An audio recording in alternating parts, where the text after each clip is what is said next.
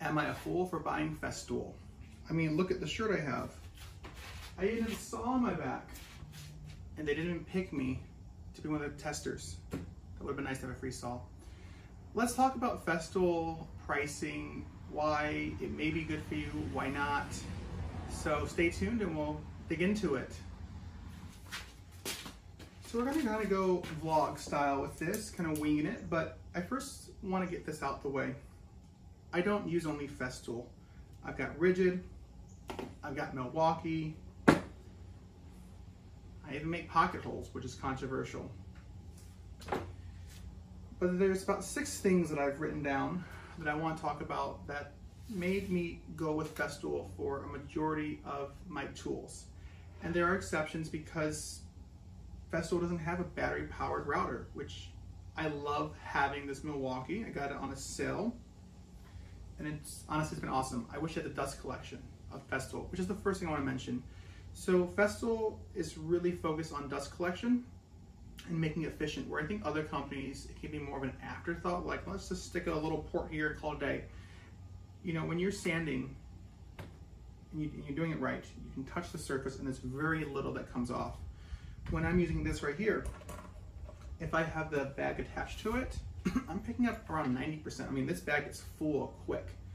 When I'm using the actual vacuum with it, it's like 98%. it's, it's fantastic.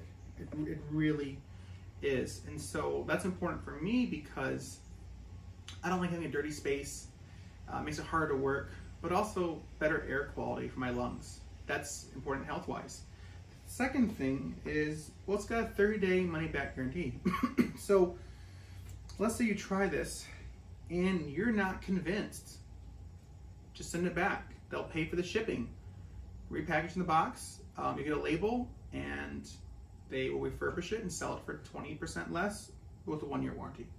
So it's nice to be able to try it out to see how you feel about it. And I have bought tools and returned them because I just wasn't convinced that it was a better solution or wasn't right or I didn't like it.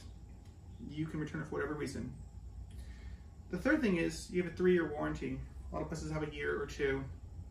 So you can send it for free if it needs to get repaired. Usually get back in a couple days. I haven't had to send anything in for repair yet, and I've had this since like 21. Everything works great, so it's just nice knowing that they do take care of things and insure it for a long time in case something does happen. So even if you're buying on the used market, then if it's within a three-year window, you know anything happens, you can get it replaced. The fourth thing is the features of the products themselves. So I love how this is very low by vibration in the hand. I've heard some where it's just terrible, your hand's ringing afterward. I haven't had that experience with this. It's relatively quiet. It runs on battery and you can plug it in as well. Um, this thing is very efficient with the blade. I love how I can adjust things on here. I'm not gonna go over the features. It's not supposed to be review, but Festool makes some really unique tools. I love this drill. Um, you hold it like this and you're actually in line with the drill bit where if you're holding it this way you're not in line with the drill bit it's just a different way so you have more force behind the head especially when you're trying to go up high and you can't get two hands up for whatever reason it's nice to have this and it's lightweight so sometimes they have some really unique tools that just do things that others can't the fifth thing is and people say this they say Festool is a system I think a better way of saying it is the products integrate well together. It's like their own ecosystem. It's like Apple. Everything integrates, or mostly. So this table, I can connect a track to it for this to write on. Um, everything that's table base is the same height. So let's say I am using my miter saw and I need to have a long board. It's gonna be perfectly level. I'm using my router table, it's perfectly level. Um, on the track, you can use the jigsaw, you can use the router. So I love how the things interconnect. It's just smarter, even the way that their Systainers or their boxes work. Uh, with my dust extractor off to the side here, you can stack the Systainers on there. So if you're going mobile, you need to carry these in your car, it's on there. You can even make the Systainers such where they stack up and they're even with this surface because even the heights of them have been considered. So I love just the thoughtfulness that's gone behind the products and making things work together.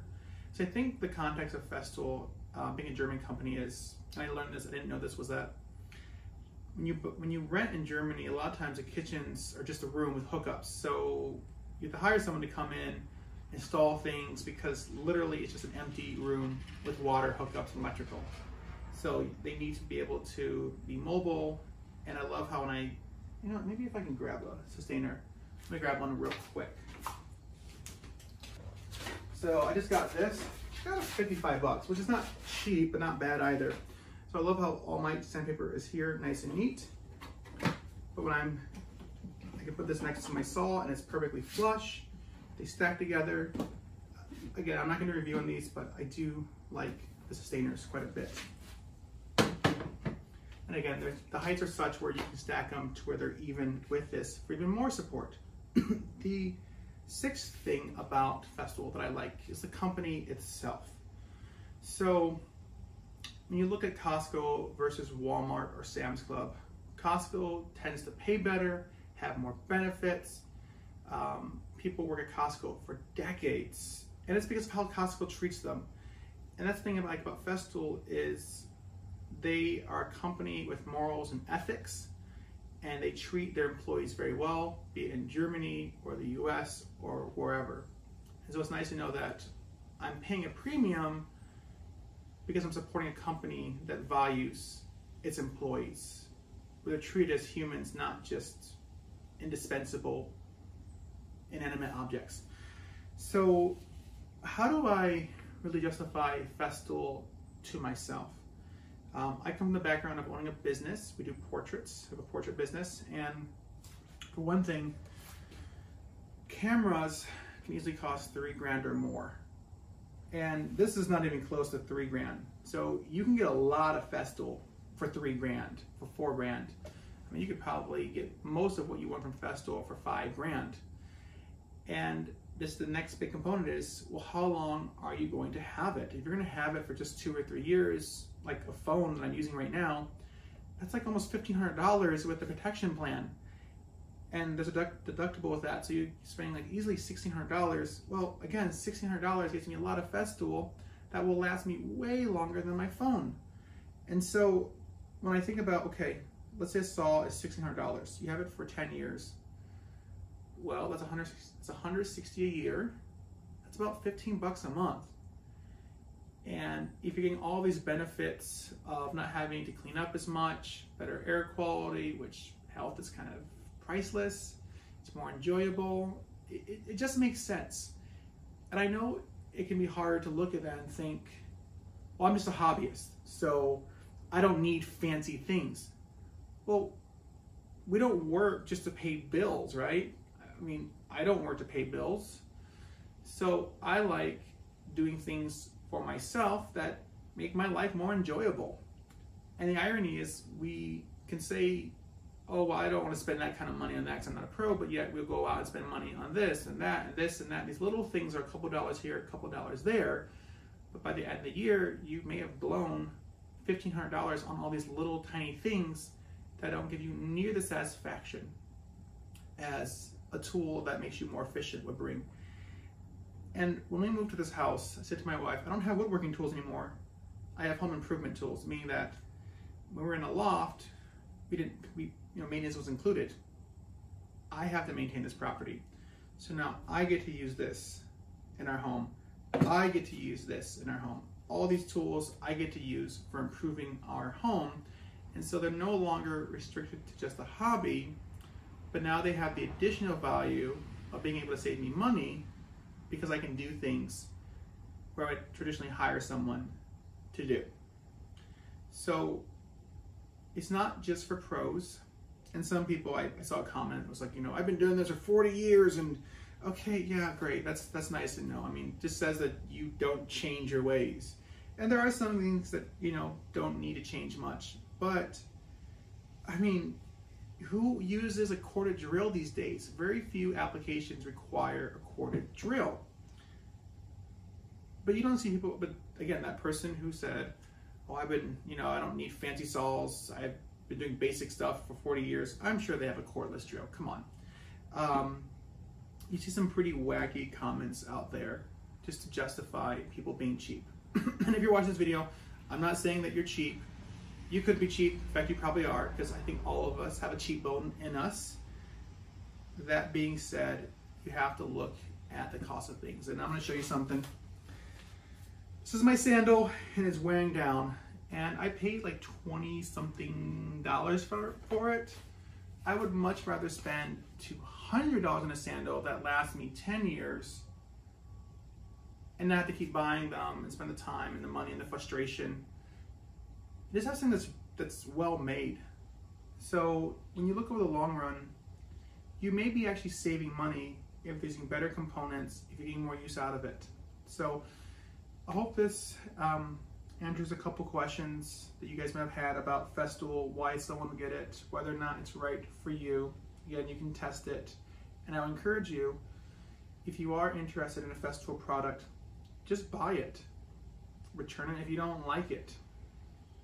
You know, I see people on forums online and they go in these like basic, uh, it's like a beginner woodworking group I, I follow. And there's some cool stuff in there, but you see people asking, is it worth it to buy Festool? It's like, well, these people don't use Festools. They're just giving baseless opinions. Go into a Festool group. It's the Festool Owners Group, and there's a Festool North American group.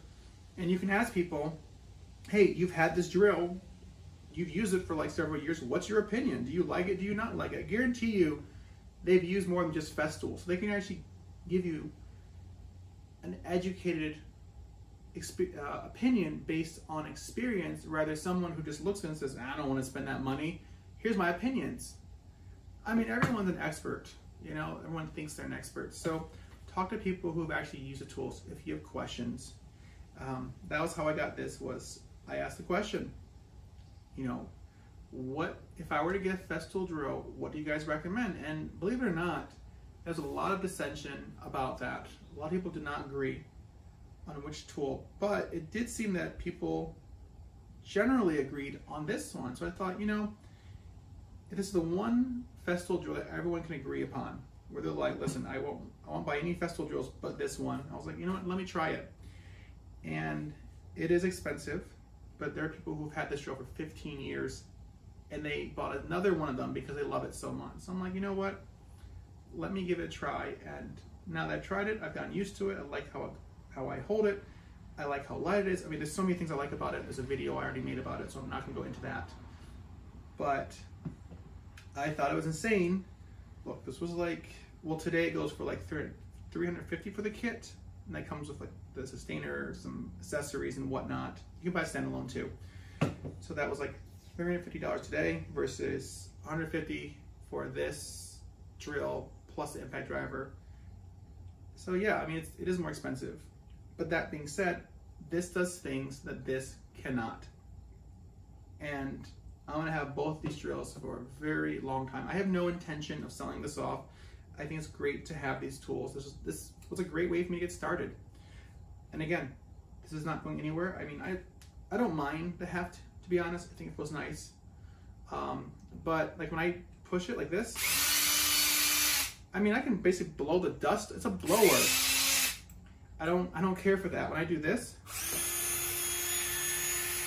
there's a little air, but not like this. And you can hear like this, even the more powerful one doesn't make as much noise as this. And I don't like having a bunch of noise. So I know this can get kind of a little ramble, so I'm gonna close it off here. If you agree with me, let me know why you like Festool. If you disagree with me, let, let me know why you don't like Festool. But don't complain if you haven't used it. You know, if you've used it, you're like, Aaron, I use it and I don't like it. Hey, I, I can't find fault with that. And if you have questions about it, let me know. So thank you so much for listening to me. Um, please subscribe for more videos on different builds I'm doing, different techniques, and I'll see you guys in the next one.